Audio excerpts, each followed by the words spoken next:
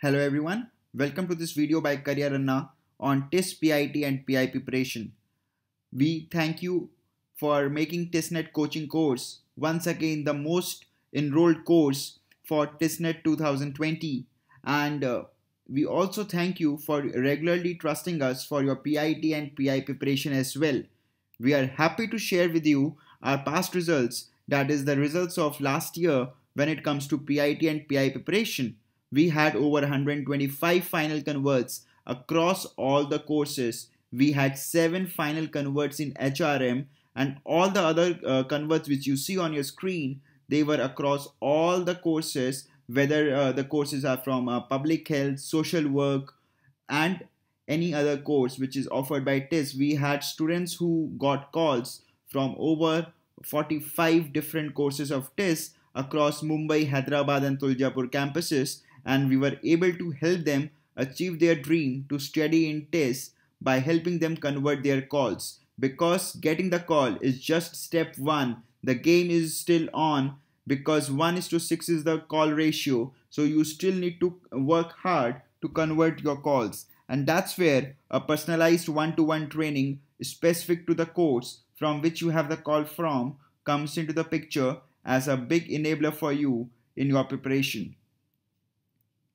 Now, what should you focus for PIT? Now, this is one of the questions which we uh, hear the most from the students because PIT has 30 to 40 percent weightage, you know, uh, depending upon the different courses, and that's where PIT is also an important aspect. However, as per our past experience, if you do wonders or say if you do above average in your personal interview, even with the average PIT, you can easily convert the call. But still, we need to focus for uh, PIT as well. So let's see that what should you focus for PIT. Now in PIT broadly two types of questions are asked. A WAT or short essay writing is given to you on one or two topics which are relevant to your field or there will be a short passage followed by questions relevant to your field.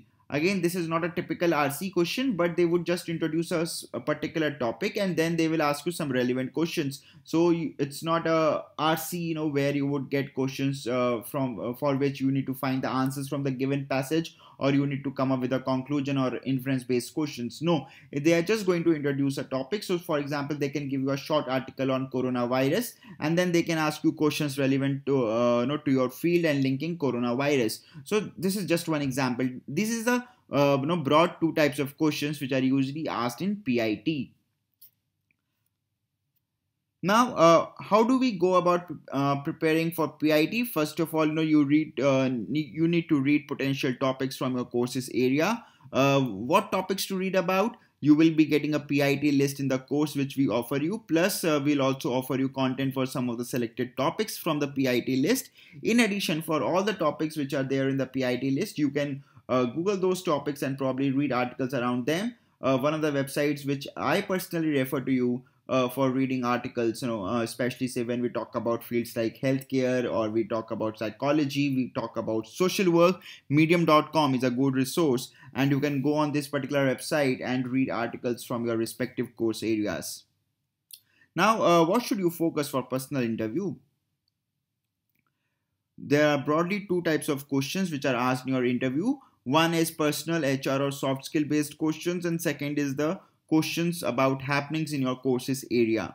So this is a two broad uh, type of questions which you need to prepare from interview perspective. Uh, the make or break question for your interview would be why do you want to join this course? This is the most, most, most critical question of your interview. This decides 90% of the times that whether you will be selected or not. The other critical questions include long-term and short-term goals and your view on the trending news and the issues from the respective courses area. However, if I just compare these three, the most most critical one, once again I emphasize is why do you want to join this course? Remember, if you can get this question correct, if you can come up with a very convincing answer for this question 9 out of 10 times, you are going to convert your interview call. Uh, apart from this, uh, TISS will also be sending you one DAF form which you need to fill and uh, take alongside, you know, for your interview day. Uh, there are quite a few questions which are asked from DAF form also. So here is a list of DAF form questions which you can start preparing from even uh, today uh, because most of you are still to get your DAF form.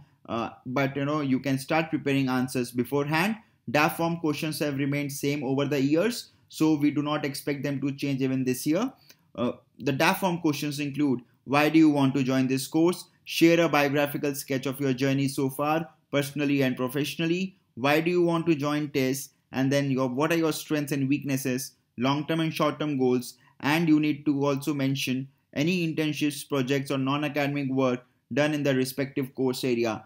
Basically this is what your DAF form questions would be and you know that's what you can start preparing from even now without waiting for the DAF form to reach you. Now uh, your interview would start with either of the following uh, questions 99% times. And that's where we are telling you this uh, so that you can start preparing and you should know the criticality and the importance of these questions because you know well start is half done is what they say. And if you could come up with a good answer for the first question of your interview you are almost there. And these questions are tell us about yourself. Tell us something about yourself which is not mentioned in the DAF form. Why do you want to join this course? What is the meaning of your name? Mostly your interview would start with one of these four questions which are there on your screen. So you can start preparing them well, get them reviewed. If you are the part of PIT PI course with us, we will definitely be re reviewing all these answers for you. But even if you are not preparing with us, these are the four most important answers you know which you should definitely get reviewed by someone to help you out in you know uh, to come up with the best answer from interview perspective and also the answer which is customized as per your profile so that you do well in the interview. Once again at the end, uh, I would like to share uh, the PI preparation course results. And you know I would uh, like to emphasize on the fact that we provide you 4 to 6 mock interviews, we provide with you uh, mock PIT tests, we provide you PIT topics, we provide you content for se selected PIT topics, we review each and every answer of your DAF form. And we also review all the critical interview questions for you. Make them good to go for the interview before starting off with mock interviews. Link for the course is in the description of the video. You may check it out. With this, we come to the end of this video. We wish you all the best. We wish uh, that each and every one of you convert your calls and achieve your dream of studying in TISS. Thank you everyone. All the best once again.